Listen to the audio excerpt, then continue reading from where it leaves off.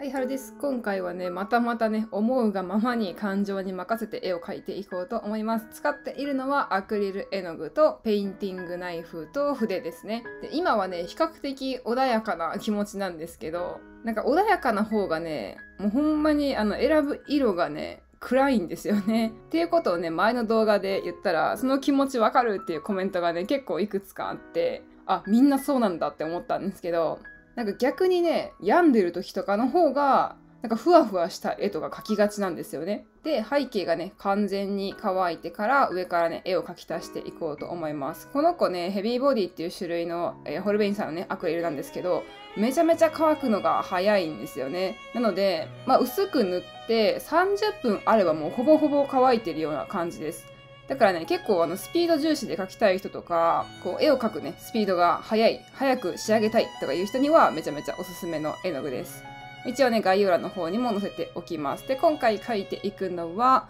え最近描いてなかったなと思ってね、お花を描きます。で、普通のお花っていうより、もうあの私のね、妄想のお花ですね。一色だけではなく、いろんな色が混ざったお花でも遠目から見たら黄色と青と赤いお花なのかなっていう、まあ、まとまりも持たせつつ、えー、描いてみました。で境界線をねペインティングナイフでぼかすことによってちょっとね現実とは離れた幻想的というか今にもねこうパラパラってあの光になって消えてってしまいそうな感じのお花に仕上げましたはいそんな感じで完成ですまあパパッとね23分で終わらせてるんですけど現実ではね1時間半まあ1時間ちょっとぐらいかかってますねはい、そんな感じです。他にもね、たくさん動画上げてるので、一緒に画力を上げていくために頑張っていきましょう。じゃあ、バイバイ。